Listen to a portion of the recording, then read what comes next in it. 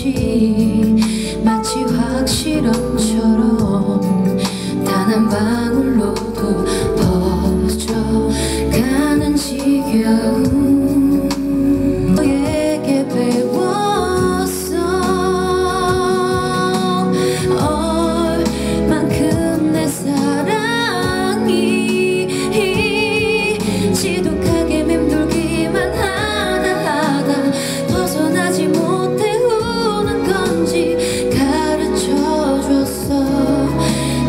속에 나